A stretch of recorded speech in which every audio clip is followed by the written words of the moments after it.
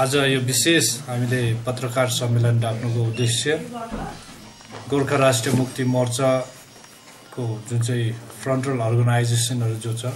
त्यसलाई अहिले हामीले निरन्तरसँग जुन प्रकारले रिअर्गनाइज गर्ने जुन काम हामीले गरिरहेका छौँ पूर्ण गठन गर्ने जुन काम अहिले हाम्रो चलिरहेको छ जस्तै जुन प्रकारले जिएनडब्लु एक्स सर्भिसमेन एसोसिएसन त्यसरी नै एचएसटिओ पिटिओ जुन संस्थाहरू हाम्रो फ्रन्टल अर्गनाइजेसन जो छ यसलाई अगाडि बढाएर लाने क्रममा आज गोर्खा राष्ट्रिय मुक्ति मोर्चा अध्यक्षसित हाई सेकेन्डरी स्कुलका शिक्षकहरू जो हाम्रो फ्रन्टल अर्गनाइजेसनमा कोही धेरै लामो समयदेखि काम गरेर आइरहेको थियो र अर्गनाइजलाई सही रूप जो दिन सकेको थिएन जुन प्रकारले अर्गनाइजलाई एक्टिभली अगाडि बढाउन सकेको थिएन तर आज आएर त्यो रूपलाई त्यो अर्गनाइजलाई अगाडि बढाएर लानुमा आज अध्यक्ष मन घिसिङजीसित सरहरूको जुन बैठक भयो बैठकपछि आज औपचारिक रूपमा घोषणा गरियो कि एचएसटिओलाई अगाडि कसरी बढाएर लाने भन्ने विषयमा अगाडि लाँदाखेरि आज अध्यक्ष मन घिसिङजीले समस्त सरहरूसँग बसेको युनानिमसली एउटा डिसिजन जो आयो त्यसमा एचएसटिओको कन्भेनर नियुक्त गरेको छ र एचएसटिओको कन्भेनर यहाँ हाम्रो ब्लोन सरलाई नियुक्त गर्नुभएको छ। त्यसले गर्दाखेरि यो एचएसटिओलाई अब अगाडि कसरी बढाएर लाने यो विषयमा तपाईँहरूलाई आज नवनियुक्ति एचएसटिओका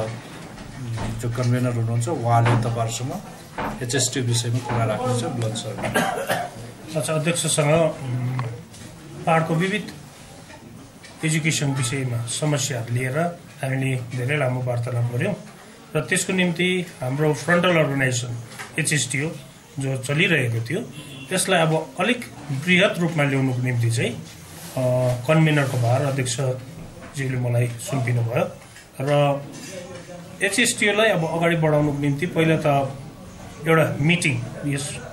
च्यानल मार्फत नै तेइस तारिक हामीले निश्चय गरेका छौँ र जग्गा चाहिँ हामी छब्बिस तारिक हामीले निश्चित गरेका छौँ र जग्गा समय हामी बादमा अवगत गराउनेछौँ र धेरै धेरै समस्याहरू छ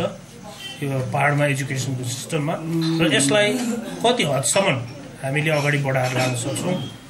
त्यसको निम्ति हामी सम्पूर्ण शिक्षकहरू अब एक भएर राजनीतिक रङ नहेरेर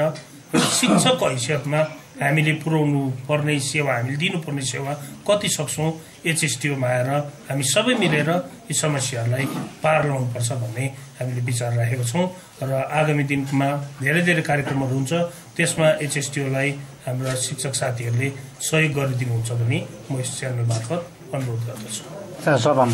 उपस्थित हामी नागरी पोखरेबुङ घुम यस्तो लगायत विभिन्न क्षेत्रबाट शिक्षकहरू आज उपस्थित थिए।